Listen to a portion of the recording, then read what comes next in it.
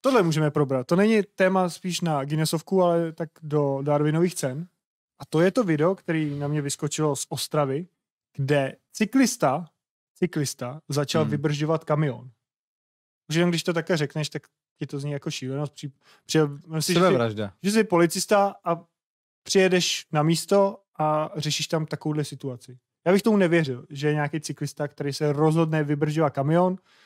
Naštěstí je to zaznamenaný i na videokameře, na, na, je z toho videozáznam, který můžete najít v médiích a tam je to vidět, jak ten cyklista je, on teda to popisoval tak, že se cítil ohrožen jízdou toho kamionu. Hmm.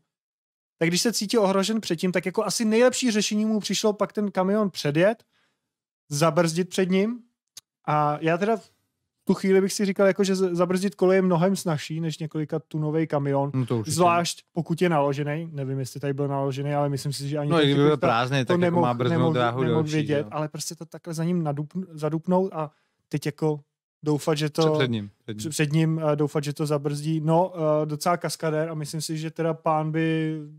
Zase už přes držku. No, měl jít na nějaký vyšetření, protože tohle to je jako docela... No to udělal ten kamion nějak, vystoupil domů přes No, dobu? ne, vystoupil nějak, se tam začali dohadovat a pak to hned tam jako řešila policie. Ale jako tohle to prostě, jako samozřejmě automaticky vybržďování je prasárna, ale co kdyby se stalo, že prostě ten kamion by to nedobrzdil hmm. a pana na kole převálcoval. Myslím si, že by byl hodně překvapený. No, ty, ty, ty si ty si vlastně předtím, když jsme se o tom, na tom tématu bavili, říkal, že je důležité mít ty kamery, že, které jako zachytějí zachytěj přesně tyhle ty věci. Já teda teď ještě do, do nového auta jsem si nepřendal, tak už bych to měl napravit přes tím autem, jako jezdím, což je dost důležité mít tu kameru. A vlastně jsou chvíle, naštěstí teda, od té doby, co jí mám, tak jsem ji nepotřeboval, ale předtím, když jsem ji neměl, tak bylo několik situací, kdy přesně jsem ji jako potřeboval, což bylo třeba, když přesně mě tak začal vybržďovat na, na dálnici nějaký prostě Magor na Karlovarce mezi Prahou a Kladnem, a nechtěl nechat předjet, vždycky, když jsem ho chtěl předjet, tak začal zrychlovat a fakt jako úplně pošuk a uh, natáčel ho domča mobilem.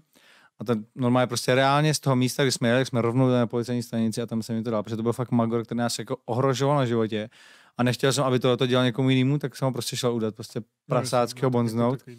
A pak mi volala policie, jakože, že dostal nějaký postih, neřekli mi co, nevím, jestli dostal pokutu nebo něco, ale každopádně já jsem měl připojovacím pruhem na dálnici a nevyužil jsem celý ten pruh, což eh, jako podle zákona máš využít celý. Jo, prostě máš ho projet. Já prostě tak jsem nevyužil celý, bylo prázdno, tak jsem tam prostě nejel. No a tenhle ten týpek, který byl za mnou, tak prostě na to dupnul a podíval mě zprava a tím pruhem vlastně a hned mi hodil jako myšku, takže prostě mě ohrozil. Tak jsem na něj zablikal jako dálkovým světlem, aby se jako uvědomil, že dělá nějakou kravinu a to se dělá podle mě jako často, nebo prostě když ti někdo někam vede nebo tak, tak problikáš, aby si uvědomil, že, že prostě dělá nějakou kravinu a dál to jako neřešíš. No a ten, ten člověk očividně ho to jako dost naštvalo, že jsem ho problikal, tak to prostě zadu v tu chvíli.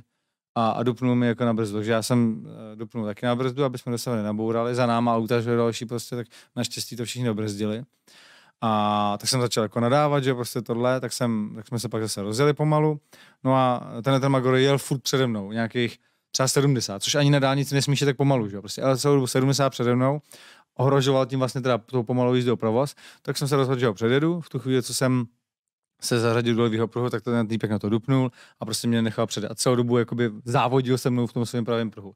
Tak jsem se zase zařadil zpátky a on zase brzda 70 a zase nás prostě zastavil. A také to udělal třeba třikrát. A pak už jsem měl prostě jako nervy a pak jsem říkal, hele, sedu na něj, prostě pojedu teda pomalu, protože ten, ten idiot mě očividně nenechá předjet, měl, měl prostě výkonnější auto, my jsme byli naložený a ne, neměl jsem zrovna úplně silný motor, takže se mi prostě nepodařilo ho předjet.